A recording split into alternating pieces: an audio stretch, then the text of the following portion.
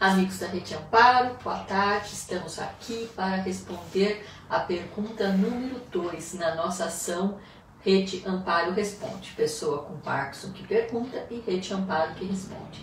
Então, essa pergunta foi enviada por um amigo da Rede Amparo que reclama que ele faz muitos planejamentos e que não consegue concluir, não consegue é, pôr em ação esses planejamentos. E ele pergunta se isso tem a ver com a doença de Parkinson. Então eu vou responder em duas partes essa pergunta.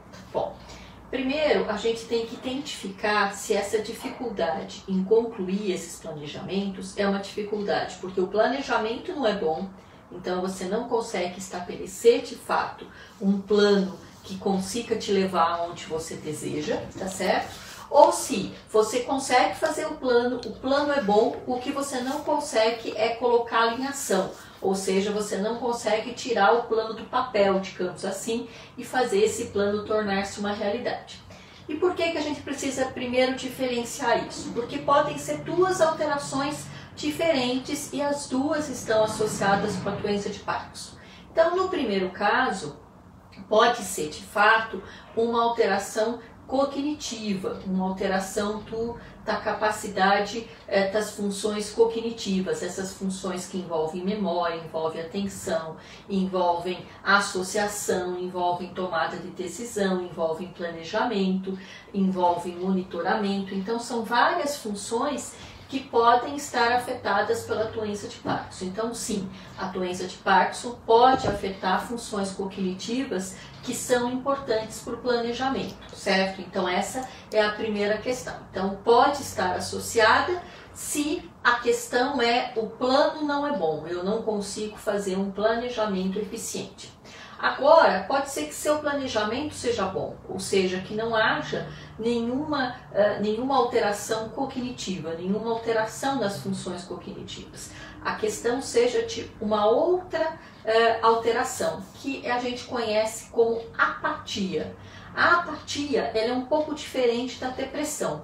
A depressão ela envolve mais tristeza, então ela tem uma vontade de não fazer nada, mas ela tem uma vontade de não fazer nada associado a um sentimento de tristeza, de tristeza que dura é, por dias, às vezes por semana, um estado de tristeza. Então isso é depressão. A apatia nem sempre, ou na maioria dos casos, ela não está associada com esse sentimento de tristeza, mas ela está associada com um sentimento de falta de vontade de fazer as coisas. Tudo parece difícil, parece que precisa de um esforço enorme, tudo parece muito muito complicado, né? Você precisa de um grande esforço para fazer pequenas coisas. Então isso é um estado de apatia. E a apatia está associada à doença de Parkinson. Uma grande parte das pessoas com Parkinson tem essa alteração que a gente chama apatia. E o estudo que eu vou disponibilizar para vocês, quer dizer, o estudo que a gente está usando para balizar, né, para fundamentar essa resposta, é um estudo muito interessante que saiu recentemente, mostrando que de fato há uma associação entre a apatia e as funções cognitivas que os pacientes é, mais apáticos eles têm uma, uma, uma redução da atividade cognitiva, da função cognitiva, ou seja, as pessoas mais apáticas elas têm, elas têm funções cognitivas piores. Então, ah, é muito importante cuidar tanto de uma coisa quanto de outra. Então, cuidar das suas funções cognitivas, mantendo então a, a mente sempre ativa, sempre desafiada, sempre envolvido em tarefas que não são só as tarefas rotineiras, para que você consiga fazer uma ginástica cerebral, para que seu cérebro continue sendo desafiado e se mantenha ativo,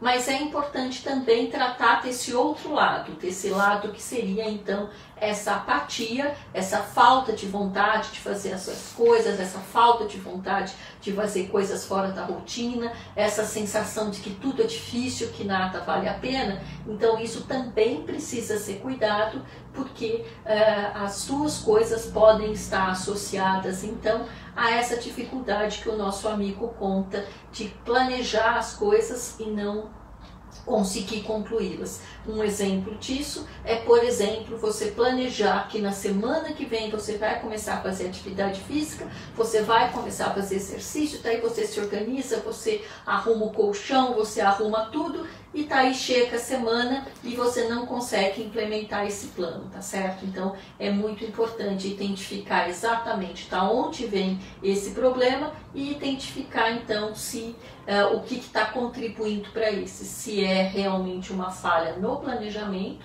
uh, nas funções cognitivas, ou se é uma questão de apatia, de uma dificuldade em colocar em ação esse plano. Espero que ajude vocês a, a, pensarem sobre vocês mesmos, a pensarem sobre é, como o comportamento de vocês e ajude então a enfrentar mais esse desafio da doença de Parkinson. Até amanhã!